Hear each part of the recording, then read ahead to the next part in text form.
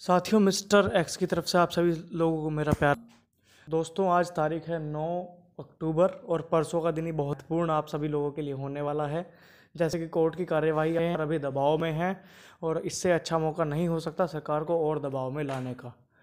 ये एक बहुत ही महत्वपूर्ण समय चल रहा है, जिस समय में हम दिल्ली तक अपनी आवाज़ पहुँचा सकते हैं, और ये एक महत्वपूर्ण चीज़ होगी कि दिल्ली के जो इतने बड़े नेता हैं, उनके पास तक हमारी बात पहुँचे। तो इसके लिए ज़रूरी क्या है? इसके लिए ज़रूरी ये है कि हम भारी से भारी संख्या में 11 तारीख को सुबह नौ बजे तक आपके राजीव चौक मेट्रो स्टेशन के पास में गेट नंबर सिक्स है। Rajiv Chowk metro station gate number six पे आप पहुँचें। वहाँ से जंतर मंतर की दूरी वॉकिंग डिस्टेंस पे है। तो वहाँ जंतर मंतर पे आपका प्रदर्शन होगा। उसके बाद आपका कैंडल मार्च निकाला जाएगा इंडिया गेट पे और भैया जी, कहीं प्रोग्राम चलता है वहीं सेंट्रल पार्क पे। वहाँ पर आपकी जो बातें हैं, वहाँ मैं चाहूँगा कि ज़्यादा से ज़्यादा आपकी बातें रखी जाएँ नेशनल न्यूज़ न्यूज़ चैनल्स पे और ज़्यादा से ज़्यादा लोगों को जोड़ा जाए, अपनी बातों वहाँ वहाँ तक पहुँचाई जाए। इसके लिए दिल्ली जाना बहुत ज़रूरी हो गया है। दोस्तों, मैं पहले ही बता चुका हूँ कि मुझे पश्चिमांचल के लोगों से ज़्यादा उम्मीदें हैं नहीं और मैं जितनी उम्मीदें करूँगा, मुझे ये पूर्ण विश्वास है कि पश्चिमांचल के लोग मेरी आशाओं पर पूरी तरह से खरा उतरेंगे, दिल्ली ना पहुँचेंगे। क्योंकि पहले भी इन्होंने मुझे धोखा दिया है और आगे भी धोखा देते रहेंगे।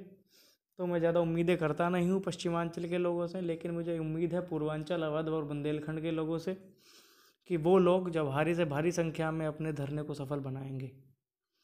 तो दोस्तों अब ये समझिए कि आप टाइम की कीमत को अगर समझना चाह, जानते हैं तो इस धरने में आप ज़्यादा से ज़्यादा संख्या में पहुँचेंगे। ये टाइम बहुत ही ज़्यादा क्रूशियल है और ये समझ लीजिए आप अपने फेवर में सारी चीज़ें ला सकते हैं। ठीक है? तो भाइयों, से उम्मीद करूँगा कि सबने यहाँ से जो है आपके पास में पैम्पलेट्स होंगे। पैम्पलेट्स पोस्टर बनवा के लेके जाइएगा। ठीक है? सभी चीज़ें वहाँ पर लेके जाइएगा, जिससे कि हमें आसानी हो और सची, और सब चीज़ों को मैनेज करने में, अपनी बात लोगों तक पहुँचाने में आसानी हो। जो कुछ पूछ, पूछते हैं उन लोगों को पैम्पलेट दिया जाए तो बातें जल्दी पहुँचती हैं। जैसे लखनऊ में आपने देखा ही होगा, लखनऊ में आपने पैम्पलेट्स बांटे तो लोगों को समझ में आया कि मुद्दा क्या है। नहीं तो भीड़ इकट्ठी होती है उसका मतलब समझ में नहीं आता भीड़ इकट्ठी किस लिए लोग एक दूसरे से पूछते हैं। आप अपने पैम्पलेट्स देंगे, अपने पोस्टर दिखाएँगे तो उससे बात समझ में आती है मीडिया को भी बात समझ में आती है कि क्या मुद्दा है। लोगों को भी बात समझ में आती है कि क्या मुद्दा है। आज की आज की तारीख में अगर आप लखनऊ में जाके किसी से पूछेंगे तो एक पान वाले को भी ये पता चीज़ होगी कि ये बात है क्या? असली मामला क्या है? पूरे लखनऊ आपको जानता है। ठीक है दोस्तों इस चीज़ का बहुत ज़्यादा इफ़ेक्ट पड़ता है। अगर आप अब अग, अगले दिन को सौ की भी भीड़ इकट्ठी होती है तो उनको समझ में आ जाता है अच्छा यार ये बीटीसी वाले हैं। समझ रहे हैं? तो इन चीज़ों का फ़र्क बहुत ज़्यादा पड़ता है। तो दोस्तों जो पश्चिमी उत्तर प्रदेश के लड़के हैं उनको मैं कुछ नंबर्स शेयर कर देना चाहता हूँ। वो जितने लोग हैं उनसे मैं वो पश्चिमी उत्तर प्रदेश के भाई हैं हमारे, श्रवण कुमार, उनका नंबर नोट कर ले और उनके संपर्क में रहें, वो आपकी हेल्प करेंगे वहाँ पर दिल्ली पहुँचने के लिए। नंबर है nine six three nine four seven double three double four. दोबारा रिपीट कर रहा हूँ, nine six three nine four seven double three double four. दूसरा एक नंबर है नवीन भाई, मुरादाबाद से हैं ये। इनका नंबर नोट कर लीजिए, ये बहुत ही मेहनती भाई हैं हमारे। इलाहाबाद तक इन्होंने धरने दिए हैं। तो सोचिए इनके जज्बे को मैं सलाम करता हूँ और मैं उम्मीद करता हूँ कि आप लोग इनका भरपूर साथ देंगे। इनका नंबर है seven nine zero six eight six double seven zero seven. Seven nine zero six eight six double seven zero seven. ये दोनों भाइयों से आप संपर्क करिए और कोशिश करिए कि जल्दी से जल्दी लोगों को जुड़ने की कोशिश करें।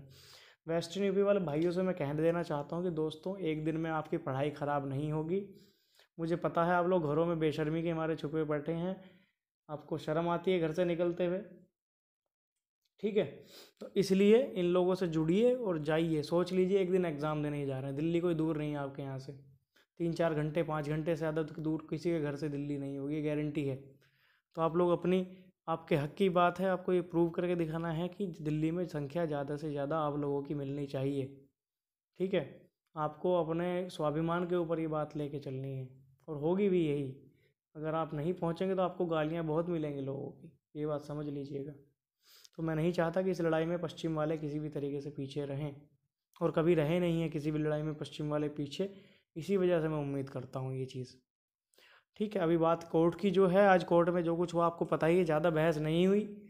सरकार फिर लीवा पोती के फेवर में दिखी, लेकिन लीवा पोती एक लिमिट में होती है। जज साहब ने कुछ ज़्यादा चीज़ें सुनी नहीं और उन्होंने कहा कि मैं अपना ऑर्डर रिज़र्व कर रहा हूँ।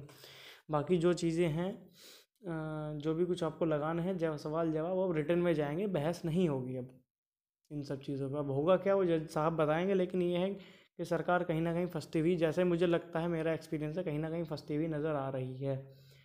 एक चीज़ दोस्तों और बता देता हूँ मैं, जो लोग बोलते हैं कि अनियमितता वाले केस से हमारे केस पे बहुत ज़्यादा पॉजिटिव इफ़ेक्ट्स पड़े हुए हैं और पड़ेंगे आगे। कैसे पड़ेंगे, ये कभी और बता दूँगा, लेकिन पढ़ेंगे ये गारंटी है। और पढ़ेंगे क्यों? एक तो चीज़ ये है कि पहले अगर तीस तैंतीस का मुद्दा हम उठाते तो इतना बड़ा मुद्दा ना बनता। और लगता कि चलो ये भीख मांगने आए लड़के, लेकिन अभी जो है इम्प्रेशन जो है गवर्नमेंट का सब लोगों के दिमाग में ख़राब हो चुका है। भले ही जजेस हों या लॉयर्स हों, उनके दिमाग में ये चीज़ बैठ चुकी है गवर्नमेंट सारी की सारी चीज़ें इसमें अनियमितताओं के साथ कर रही है। ठीक है, दूसरी चीज़ कि गवर्नमेंट का जो मेन फोकस है वो अभी धांधली पे आ चुका है। तीस तैंतीस हो ना हो, उससे इतना फ़र्क नहीं पड़ता गवर्नमेंट को जितना इस अपनी साख बचाने में लगे, लगने में बच पड़ा हुआ है। इसीलिए गवर्नमेंट कुछ करने के या कुछ सोचने के मूड में क्या कह सको कि स्थिति में नहीं है, कि क्या किया जाए? वो धांधली से ही उभर नहीं पा रही। वो एक बार बताओ, जिस आदमी की जान पे बनी हुई है, वो किसी खाने के बारे में सोचेगा या किसी और अच्छी चीज़ों के बारे में सोचेगा, मूवी देखने के बारे में सोचेगा, वो अपनी जान बचाने के बारे में सोचेगा सबसे पहले। उसके बाद सारी चीज़ें सोचे, आती हैं। तो इसी तरह गवर्नमेंट की जान पे बनी हुई है तो पहले वो इससे बचने के लिए लगी हुई है, और ये हमारे लिए अच्छा मौका है कि अपने केस को मज़बूत से, मजबूती से लड़ने का। तो दोस्तों, अभी आप आपको अपने दिल्ली में पूरा दमखम दिखाना है, पूरी लखनऊ की जो टीम है वो आपको पूरा पूरा सपोर्ट करेगी, दिल्ली की पूरी टीम आपको पूरा पूरा सपोर्ट करेगी वहाँ पर। भले ही आप चेहरे से भले ही ना जानते हों उन लोगों को, लेकिन वो लोग कार्य करते रहे हैं अब तक। काफ़ी अच्छे से कार्य करते रहे हैं और करें ना करें, लेकिन आपको अपने लिए जाना है। और किसी के लिए जाइए ना जाइए, कोई मतलब नहीं बनता, लेकिन आप अपने लिए जाइएगा। और जो दोनों भाइयों के मैंने नंबर्स दिए हैं आपको, ये दोनों लोग से आप संपर्क करिए वेस्टर्न यूपी वाले स्पेशली इनसे संपर्क में रहिए, वहाँ पर भारी से भारी। ठीक है? इसी के साथ अपनी वाणी को विराम देना चाहूँगा।